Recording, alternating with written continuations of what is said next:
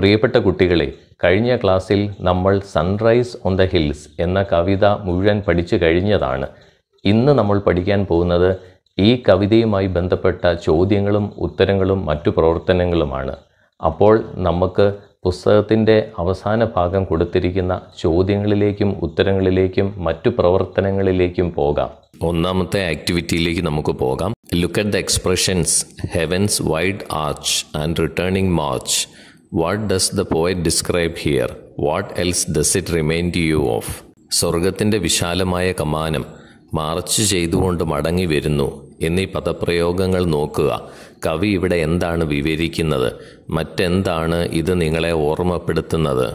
The poet describes here the horizon and the return of the sun in the morning ചക്രവാളത്തെയും പ്രഭാതത്തിലെ സൂര്യന്റെ തിരിച്ചുവരവിനെയുമാണ് കവി ഇവിടെ വിവരിക്കുന്നത്. The sky looks like a big arch ആകാശം ഒരു വലിയ കമാനം പോലെ കാണപ്പെട്ടു. It also reminds us of a king returning after a victorious war വിജയകരമായ യുദ്ധത്തിന് ശേഷം ഒരു രാജാവ് മടങ്ങി വരുന്നതിനെക്കുറിച്ചും ഇത് നമ്മെ ഓർമ്മിപ്പിക്കുന്നു. രണ്ടാമത്തെ ചോദ്യത്തിലേക്ക് പോകാം. Comment on the expression soft gales soft gales എന്ന പ്രയോഗത്തെക്കുറിച്ച് എന്താണ് അഭിപ്രായം?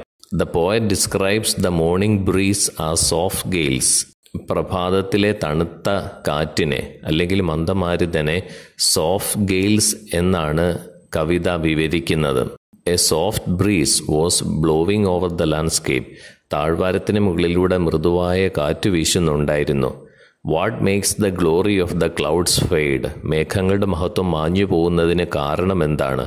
The rising sun makes the glory of the clouds fade ഉദിക്കുന്ന സൂര്യന്റെ ശോഭ കാരണം മേഘങ്ങളുടെ മഹത്വം മങ്ങുന്നു. The sun was shining over the clouds മേഘങ്ങൾക്ക് മുകളിൽ സൂര്യൻ തിളങ്ങുന്നുണ്ടായിരുന്നു. നാലാമത്തെ ചോദ്യം what are the clouds compared to മേഘങ്ങളെ ആരുമായാണ് താരതമ്യപ്പെടുത്തിയിരിക്കുന്നത്? The poet compares the clouds to an army defeated in battle യുദ്ധത്തിൽ പരാജയപ്പെട്ട സൈന്യവുമായി മേഘങ്ങളെ കവി താരതമ്യം ചെയ്യുന്നു.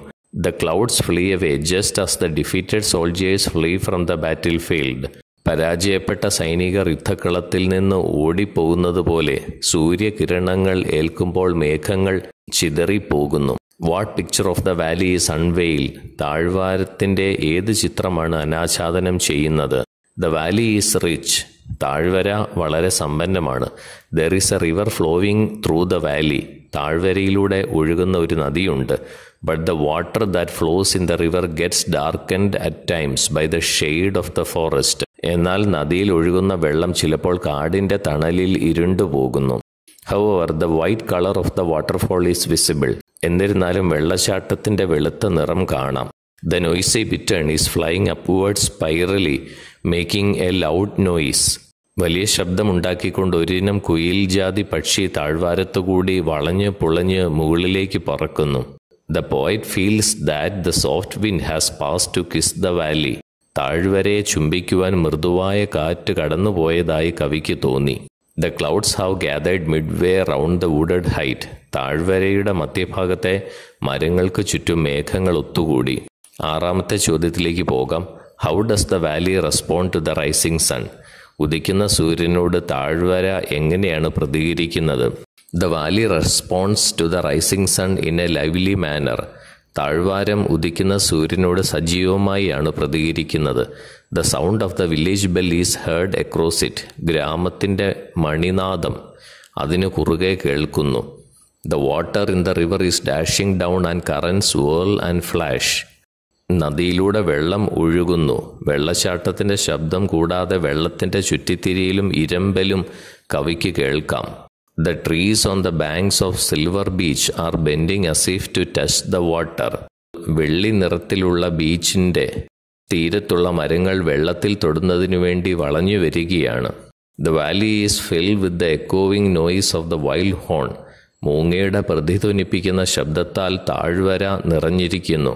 Thin smoke is rising from the huts of the valley dwellers through the thick leave branches as they're preparing their morning meals താഴ്വാരത്തിന്റെ കുടിലുകളിൽ നിന്ന് നേർത്ത പുക ഉയരുകയാണ്. അത് മരങ്ങളുടെ ഇലച്ചാർത്തിനിടയിലൂടെ മുകളിലേക്ക് ഉയരുന്നു. ഏഴാമത്തെ ചോദ്യത്തിലേക്ക് പോവാം. What message does the poet convey കവി എന്ത് സന്ദേശമാണ് നൽകുന്നത്? The poet says that if you are tired and are trouble with problems and sorrows that you want to forget you should go to the forest and hills നിങ്ങൾ ക്ഷീണിതനാണെങ്കിൽ മറക്കാൻ ആഗ്രഹിക്കുന്ന പ്രശ്നങ്ങളും സങ്കടങ്ങളും നിങ്ങൾ അനുഭവിക്കുന്നുണ്ടെങ്കിൽ നിങ്ങൾ വനത്തിലേക്കും കുന്നുകളിലേക്കും പോകണമെന്ന് കവി പറയുന്നു. The message the poet conveys is that nature can bring us relief from all sorrows എല്ലാ സങ്കടങ്ങളിൽ നിന്നും നമുക്ക് ആശ്വാസം പകരുവാൻ പ്രകൃതിക്ക് കഴിയുമെന്നതാണ് കവി നൽകുന്ന സന്ദേശം. Woods and hills will help us to forget all our problems and our mind will be fill with optimism കാടുകളും കുന്നുകളും നമ്മുടെ എല്ലാ പ്രശ്നങ്ങളും മറക്കാൻ സഹായിക്കും. ഒപ്പം നമ്മുടെ മനസ്സ് ശുഭാപ്തി വിശ്വാസം കൊണ്ട് നിറയും. എട്ടാമത്തെ ചോദ്യത്തിലേക്ക് നമുക്ക് പോകാം. Are all the three stanzas of equal length ഈ കവിതയിലുള്ള മൂന്ന് സ്റ്റാൻസാസ് അതായത് മൂന്ന് ചരണങ്ങളും തുല്യ നീളമുള്ളതാണോ? Why do you think the last stanza is short when compared to the previous stanzas മുൻപുള്ള ചരണങ്ങളുമായി സ്റ്റാൻസകളുമായി താരതമ്യപ്പെടുത്തുമ്പോൾ ഈ കവിതയുടെ അവസാനത്തെ സ്റ്റാൻസ ചെറുതാണെന്ന് നിങ്ങൾ കരുതുന്നുണ്ടോ? എന്തുകൊണ്ട്? No the three stanzas are not of equal length ഇല്ല മൂന്ന് സ്റ്റാൻസകൾ അല്ലെങ്കിൽ മൂന്ന് ചരണങ്ങൾക്കും തുല്യ നീളമില്ല. The first stanza contains eighteen lines the second twelve and the third stanza contains only six lines ആദ്യത്തെ സ്റ്റാൻസായിൽ പതിനെട്ട് വരികളും രണ്ടാമത്തെ സ്റ്റാൻസായിൽ പന്ത്രണ്ട് വരികളും മൂന്നാമത്തെ സ്റ്റാൻസായിൽ ആറ് വരികളുമുണ്ട്. The last stanza is short when compared to the previous stanzas മുൻപുള്ള സ്റ്റാൻസകളുമായി താരതമ്യപ്പെടുത്തുമ്പോൾ അവസാനത്തെ സ്റ്റാൻസ വളരെ ചെറുതാണ്. The poet is giving us a piece of advice in the last stanza അവസാനത്തെ സ്റ്റാൻസയിൽ കവി നമുക്കൊരു ഉപദേശം നൽകുന്നു. In the other two stanzas he is describing the hills the valley the river the lake and the beautiful sights and sounds there. മറ്റു രണ്ട് സ്റ്റാൻസായിൽ അദ്ദേഹം കുന്നുകൾ താഴ്വര നദി തടാകം അവിടെയുള്ള മനോഹരമായ കാഴ്ചകളും ശബ്ദങ്ങളും വിവരിക്കുന്നു. Descriptions take many lines but a piece of advice does not have to be so long വിവരണങ്ങൾ വളരെയധികം വരികൾ എടുക്കുന്നു പക്ഷേ ഒരു ഉപദേശം വളരെ ദൈർഘ്യമുള്ളതായിരിക്കണമെന്നില്ല. രണ്ടാമത്തെ ആക്ടിവിറ്റിയിലേക്ക് നമുക്ക് പോവാം. Read and reflect comment on the musical quality of the poem കവിതയുടെ സംഗീത നിലവാരത്തെക്കുറിച്ച് അഭിപ്രായം പറയുക. The poem is highly musical in nature കവിത വളരെ സംഗീത സ്വഭാവമുള്ളതാണ്. It reads like a song ഇതൊരു ഗാനം പോലെ വായിക്കുവാൻ സാധിക്കുന്നു. The poem employs a lot of poetic devices to create musical effects സംഗീത അന്തരീക്ഷം സൃഷ്ടിക്കുന്നതിന് കവിത ധാരാളം കാവ്യാത്മക ഉപകരണങ്ങൾ ഉപയോഗിക്കുന്നു.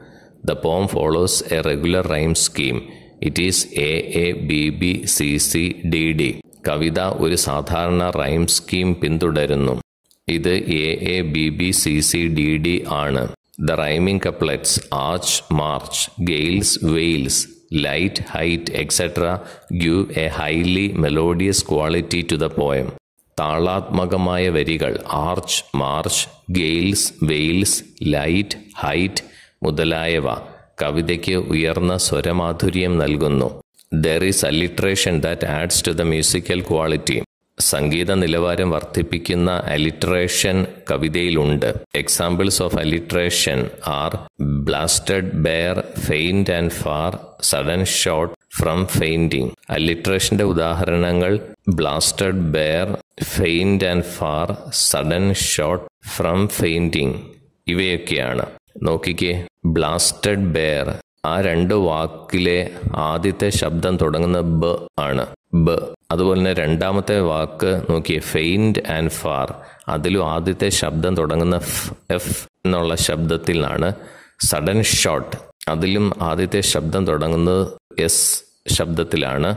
ഫ്രം ഫെയിന്റിങ് അതും ഒരു എഫ് ശബ്ദത്തിൽ തുടങ്ങുന്നു. അതിനൊക്കെയാണ് ലിറ്ററേഷൻ എന്ന് നമ്മൾ പറയുന്നത്. There are also many instances of assonance which make the poem sound sweet കവിതയെ സംഗീത സാന്ദ്രമാക്കുന്ന നിരവധി ഉദാഹരണങ്ങൾ വേറെയുമുണ്ട്. The poem gives a smoothing effect as it sound so soft and sweet to the ear കവിത വളരെ ലോലവും ചെവിക്ക് മധുരവുമാണ്. അതിനാൽ കവിത വളരെ നല്ല ഒരു ഫലം നൽകുകയാണ്. The poem has used beautiful imagery such as sun's returning march sunclad vales and wooded height സൂര്യകിരണങ്ങളാൽ നിറഞ്ഞ താഴ്വാരം മരങ്ങളുടെ കൂട്ടം എന്നിവ പോലെയുള്ള മനോഹരമായ ചിത്രങ്ങൾ ഈ കവിത ഉപയോഗിക്കുന്നു. All these add the musical quality of the poem ഇവയെല്ലാം കവിതയുടെ സംഗീത സ്വഭാവം കൂട്ടുന്നു. ഇവിടെ അലിട്രേഷൻ എന്ന് പറഞ്ഞു കഴിഞ്ഞാൽ എന്താണ് എന്ന് ഞാൻ പറഞ്ഞായിരുന്നു. ഒന്നുകൂടി നോക്കാം. Alliteration is the repetition of usually initial consonant sounds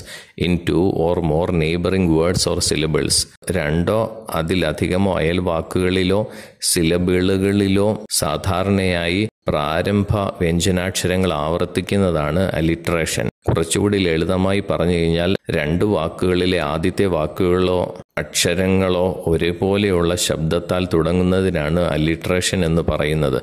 രണ്ടാമത്തെ ചോദ്യത്തിലേക്ക് നമുക്ക് പോകാം. Identify the symbols used in the poem കവിതയിൽ ഉപയോഗിച്ചിരിക്കുന്ന ചിഹ്നങ്ങൾ തിരിച്ചറിയുക.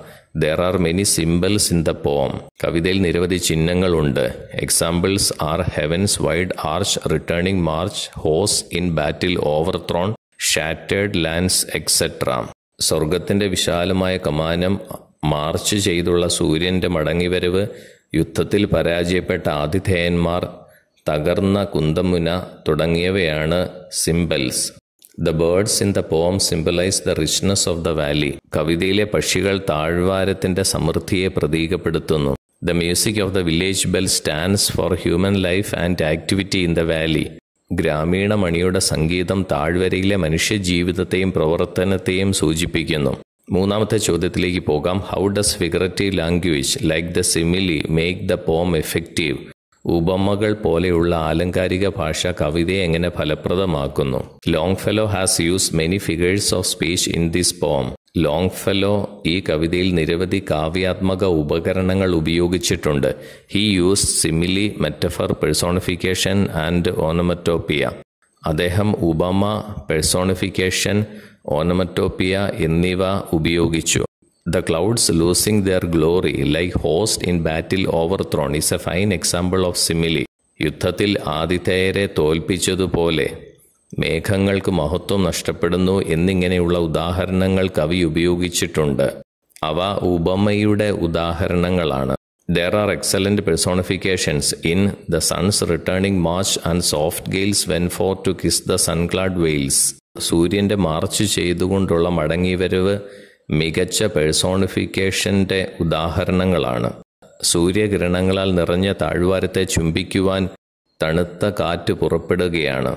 പേഴ്സോണിഫിക്കേഷൻ നിങ്ങൾക്കറിയാമല്ലോ ഇതിനു മുമ്പുള്ള വീഡിയോകളിലൊക്കെ നമ്മൾ ഫിഗേഴ്സ് ഓഫ് സ്പീച്ച് പഠിച്ചിട്ടുള്ളതാണ്. എന്നാലും പറയാം പേഴ്സോണിഫിക്കേഷൻ എന്ന് പറയുന്നത് ജീവനില്ലാത്ത വസ്തുക്കൾക്ക് ജീവനുള്ള മനുഷ്യ സഹജമായ സ്വഭാവങ്ങൾ കൊടുക്കുന്നതിനാണ് പേഴ്സോണിഫിക്കേഷൻ എന്ന് പറയുന്നത്.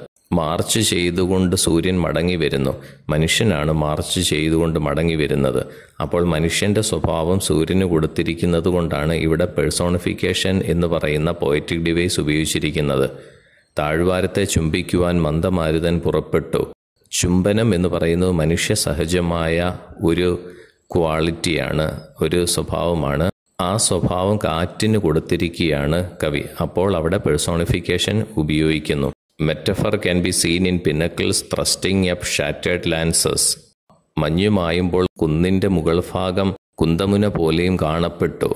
അപ്പോൾ അവിടെ ഉപയോഗിച്ചിരിക്കുന്ന മെറ്റഫറാണ് കുന്നിന്റെ മുകൾ ഭാഗം കൂർത്തിരിക്കുന്ന കുന്തവുമായി താരതമ്യപ്പെടുത്തിയിരിക്കുകയാണ്. There is a superb onomatopoeia in the whirl and flash of currents വെള്ളച്ചാട്ടത്തിന്റെ ശബ്ദവും കൂടാതെ വെള്ളത്തിന്റെ ചുറ്റിത്തിരിയലും ഇരമ്പലും മികച്ച ഓണമറ്റോപ്പിയയുടെ ഉദാഹരണമാണ്. ഓണമറ്റോപ്പി എന്ന പോയറ്റിക് ഡിവൈസ് നമ്മൾ പഠിച്ചതാണ്. എന്നാലും പറയാം അതൊരു പോയറ്റിക് ഡിവൈസ് ആണ്.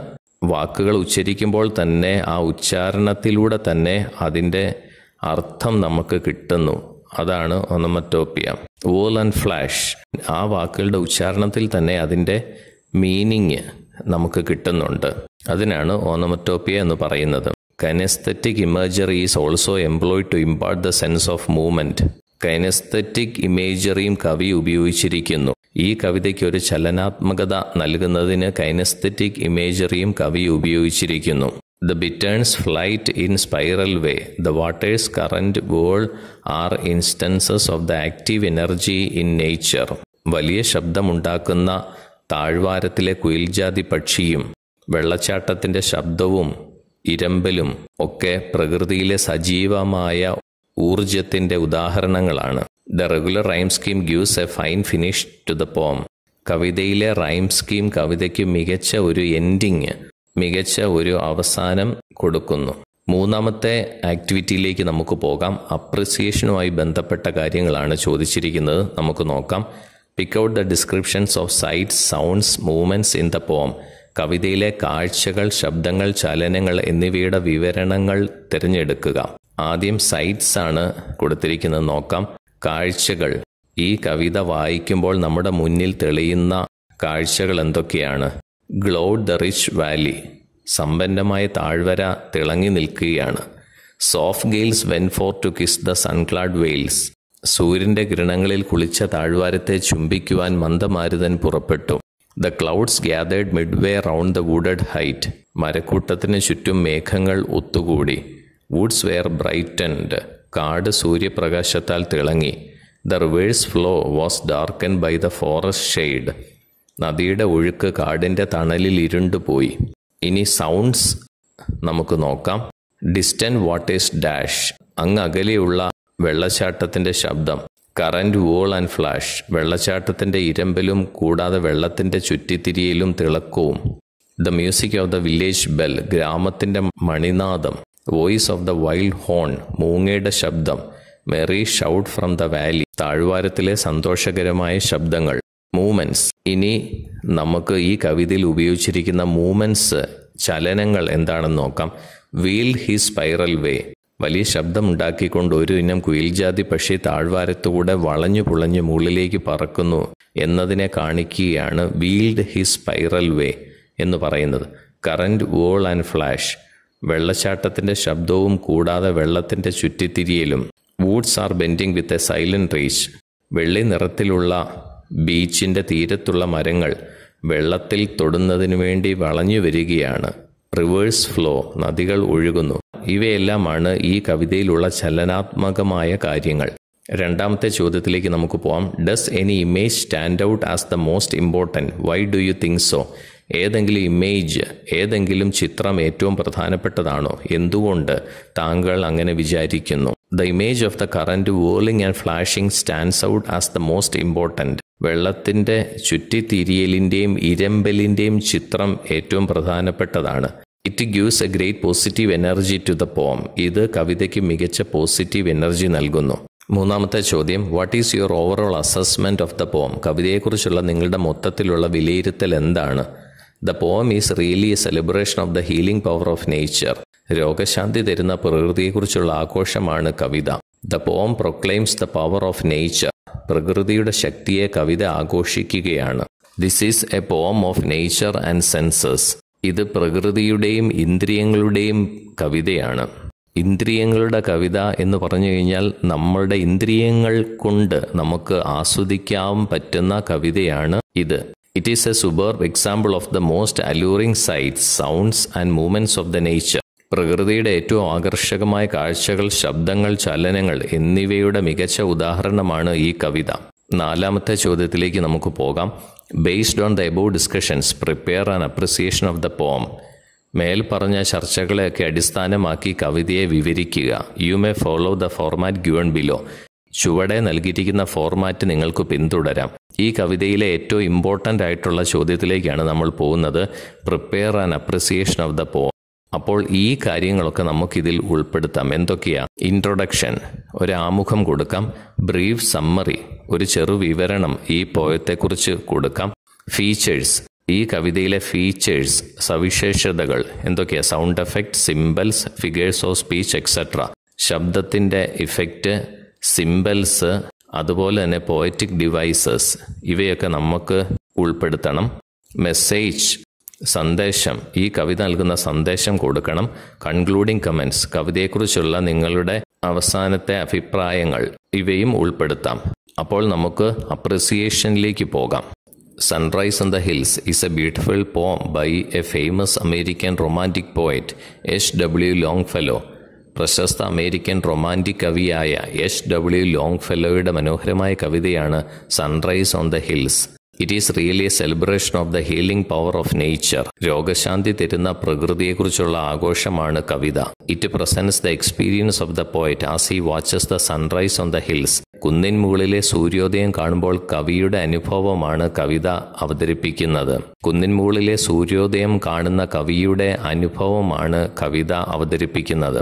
The poem begins with the description of the glorious returning march of the sun സൂര്യന്റെ മഹത്തായ മടങ്ങി വരവിന്റെ വിവരണത്തോടെയാണ് കവിത ആരംഭിക്കുന്നത്. The poet witnesses this from the top of the hill കുന്നിൻ മുകളിൽ നിന്ന് കവി ഇതിന് സാക്ഷ്യം വഹിക്കുന്നു. The sun's glory is now unveiled സൂര്യന്റെ മഹത്വം ഇപ്പോൾ അനാവരണം ചെയ്യപ്പെട്ടു. The poet feels that the soft wind has pass to kiss the valley താഴ്വരയെ ചുംബിക്കുവാൻ മൃദുവായ കാറ്റ് കടന്നുപോയതായി കവിക്ക് തോന്നുന്നു. The clouds have gathered midway round the wooded height മരക്കൂട്ടങ്ങളുടെ ചുറ്റും മേഘങ്ങൾ ഒത്തുകൂടി. They appear like an army crushed in the battle യുദ്ധത്തിൽ തകർന്ന ഒരു സൈന്യം പോലെ മേഘങ്ങൾ കാണപ്പെട്ടു. The peaks were visible above the grey mist ചാരനിറത്തിലുള്ള മൂടൽമഞ്ഞിന് മുകളിൽ കൊടുമുടികൾ കാണാമായിരുന്നു. The river's flow was darken by the forest shade നദിയുടെ ഒഴുക്ക് കാടിന്റെ തണലിൽ ഇരുണ്ടുപോയി. The noisy bittern circled in the sky ചെറിയ ഒരു കുയിൽജാതി പക്ഷി ശബ്ദമുണ്ടാക്കിക്കൊണ്ട് ആകാശത്ത് വട്ടമിട്ടു. The poet heard the waters dashing in the distance അങ്ങകലെ വെള്ളത്തിന്റെ ഒഴുക്കും കവി കേട്ടു. He saw the whirl and flash of the current വെള്ളത്തിന്റെ ചുറ്റിത്തിരിയിലും തിളക്കവും ഇരമ്പലും അദ്ദേഹം കേട്ടു. The tree branches were bending in the blue lake silver beach നീല തടാകത്തിന്റെ സിൽവർ ബീച്ചിൽ മരക്കൊമ്പുകൾ ജലത്തെ തൊടുവാൻ വേണ്ടി വളഞ്ഞു വരികയാണ്.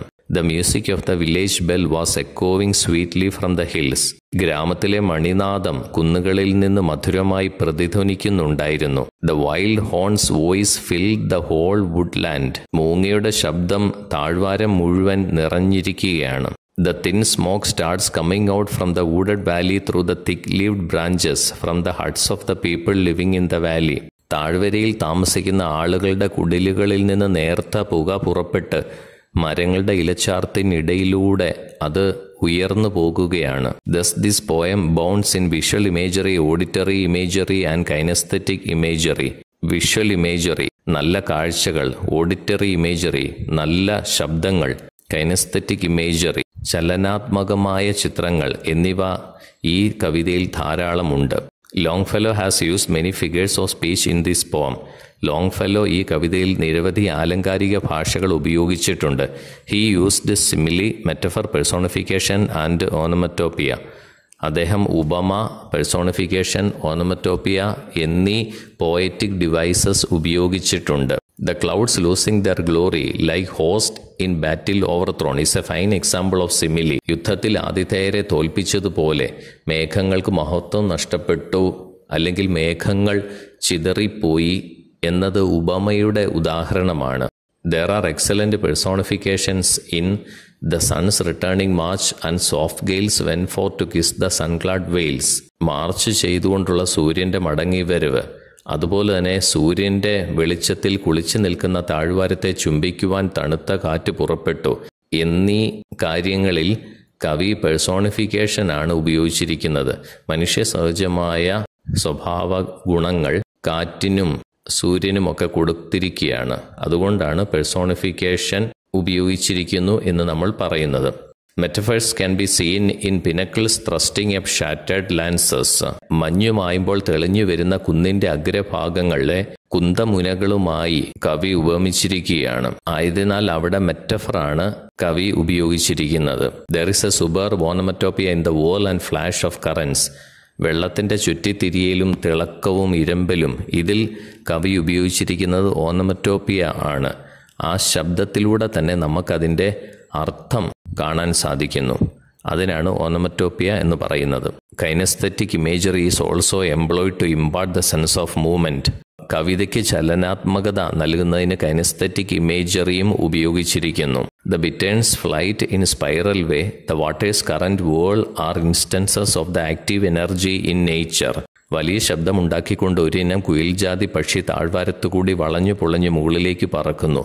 ഇതുകൂടാതെ വെള്ളത്തിന്റെ ചുറ്റിത്തിരിയലും തിളക്കവും ഇരമ്പലും ഇവയെല്ലാം പ്രകൃതിയിലെ സജീവമായ പോസിറ്റീവ് എനർജിയുടെ ഉദാഹരണങ്ങളാണ്. The regular rhyme scheme gives a fine finish to the poem ആദ്യം മുതൽ അവസാനം വരെ ഒരേ രീതിയിൽ പോകുന്ന റൈം സ്കീം കവിതയ്ക്കും മികച്ച ഒരു എൻഡിങ് ഒരവസാനം നൽകുന്നു.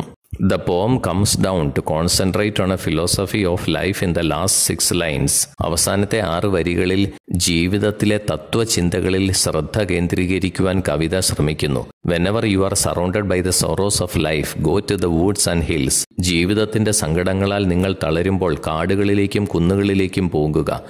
Nature has everything in it to keep your heart joyful നിങ്ങളുടെ ഹൃദയത്തെ സന്തോഷിപ്പിക്കുവാൻ പ്രകൃതിയിൽ എല്ലാം ഉണ്ട് അടുത്ത ചോദ്യത്തിലേക്ക് നമുക്ക് പോവാം. Read and discuss the modes of travel differ യാത്രാരീതികൾ വ്യത്യാസപ്പെട്ടിരിക്കുന്നു. Some may result in more intense and interesting experiences ചിലത് കൂടുതൽ തീവ്രമായേക്കാം. ചിലത് രസകരമായ അനുഭവങ്ങളും. Here is a traveller who broke the physical barrier between him and the people of different countries യാത്രകൾ കൊണ്ട് വിവിധ രാജ്യങ്ങളിലെ ജനങ്ങളും യാത്രക്കാരനും തമ്മിലുള്ള ശാരീരിക തടസ്സം തകർത്ത ഒരു സഞ്ചാരിയുടെ കഥ ഇതാ. Chris Foster a forty eight year old teacher from southern California has just completed the first part of a solo motor cycle journey around the world. Southern California സ്വദേശിയായ ക്രിസ് ഫോസ്റ്റർ എന്ന നാൽപ്പത്തിയെട്ടുകാരൻ തന്റെ ഒറ്റയ്ക്കുള്ള ലോകമെമ്പാടുമുള്ള മോട്ടോർ സൈക്കിൾ യാത്രയുടെ ആദ്യ ഭാഗം പൂർത്തിയാക്കി. He rode his way through fourteen thousand three hundred and forty three miles across three continents and eleven countries starting his journey in late June by dipping his feet in the Pacific Ocean അയാൾ തന്റെ മുന്നിലുള്ള വഴിയിലൂടെ മൂന്ന് ഭൂഖണ്ഡങ്ങളിലുടനീളം സഞ്ചരിച്ചു. ഏകദേശം പതിനാലായിരത്തി മുന്നൂറ്റി നാൽപ്പത്തി മൂന്ന് മൈൽ സഞ്ചരിച്ചു. വിവിധ രാജ്യങ്ങൾ സന്ദർശിച്ചു. പസഫിക് സമുദ്രത്തിൽ പാദങ്ങൾ മുക്കി ജൂൺ അവസാനത്തോടെയായിരുന്നു യാത്ര ആരംഭിച്ചത്. To him travelling by motor cycle is a one of a kind experience to get close to everything the weather the smells the sights and most importantly the people motor സൈക്കിളിൽ യാത്ര ചെയ്യുക എന്നത് അദ്ദേഹത്തിന് എല്ലാറ്റിനോടും അടുക്കുവാൻ പറ്റുന്ന അനുഭവമാണ്. ഏറ്റവും പ്രധാനമായി കാലാവസ്ഥ ഗന്ധം കാഴ്ചകൾ ജനങ്ങൾ എന്നിവയൊക്കെ. One of the main motivations for this journey is to gain a first hand knowledge of various countries and their customs ഈ യാത്രയുടെ പ്രധാന പ്രചോദനം എന്ന് പറയുന്നത് വിവിധ രാജ്യങ്ങളെക്കുറിച്ചുള്ള ഒരു ആദ്യ അറിവ് നേടുന്നതിനും അവരുടെ ആചാരങ്ങൾ അനുഭവിക്കുകയും ചെയ്യുക എന്നുള്ളതാണ്. ഈ പാരഗ്രാഫിൽ നിന്ന് രണ്ട് ചോദ്യങ്ങൾ ചോദിച്ചിട്ടുണ്ട്. നമുക്ക് നോക്കാം. What does the travel experience of this teacher tell us ഈ അധ്യാപകന്റെ യാത്രാനുഭവം നമ്മളോട് എന്താണ് പറയുന്നത്? It tells us that he's a very courageous person അദ്ദേഹം വളരെ ധീരനായ വ്യക്തിയാണെന്ന് നമ്മളോട് പറയുന്നു. He wants to have a first hand experience of everything the weather the smells the sights and the people of different countries കാലാവസ്ഥ ഗന്ധം കാഴ്ചകൾ വിവിധ രാജ്യങ്ങളിലെ ആളുകൾ എല്ലാറ്റിന്റെയും അനുഭവം നേടാൻ അദ്ദേഹം ആഗ്രഹിക്കുന്നു. Travelling by motor bike is one of the best ways to really explore a place ഒരു സ്ഥലം ശരിക്കും പര്യവേഷണം ചെയ്യുവാനുള്ള ഏറ്റവും നല്ല മാർഗമാണ് മോട്ടോർ ബൈക്കിലൂടെയുള്ള യാത്ര. What do you think interest him more where to travel or how to travel അദ്ദേഹത്തിന് ഏറ്റവും കൂടുതൽ താല്പര്യമുള്ള കാര്യങ്ങൾ എന്തൊക്കെയാണ്? എവിടെയാണ് യാത്ര ചെയ്യേണ്ടത്? അല്ലെങ്കിൽ എങ്ങനെയാണ് യാത്ര ചെയ്യേണ്ടത്? Chris Foster seems to be interested more in the mode of travel Chris Foster യാത്രാ രീതിയിൽ കൂടുതൽ താല്പര്യം കാണിക്കുന്നു. Travelling by motor bike is one of the best ways to really explore a place ഒരു സ്ഥലം ശരിക്കും പര്യവേഷണം ചെയ്യുവാനുള്ള ഏറ്റവും നല്ല മാർഗമാണ് മോട്ടോർ ബൈക്കിലൂടെയുള്ള യാത്ര. It helps him to gain greater sensory experience കൂടുതൽ അനുഭവം നേടുവാൻ ഇത് അദ്ദേഹത്തെ സഹായിക്കുന്നു. പ്രിയപ്പെട്ട കുട്ടികളെ സൺറൈസ് ഓൺ ദ ഹിൽസ് എന്ന പാഠഭാഗവുമായി ബന്ധപ്പെട്ട മുഴുവൻ കാര്യങ്ങളും നമ്മൾ പഠിച്ചു കഴിഞ്ഞിരിക്കുകയാണ്. അടുത്ത വീഡിയോയിൽ നമുക്ക് ഇനിയും കണ്ടുമുട്ടാം. Thank so much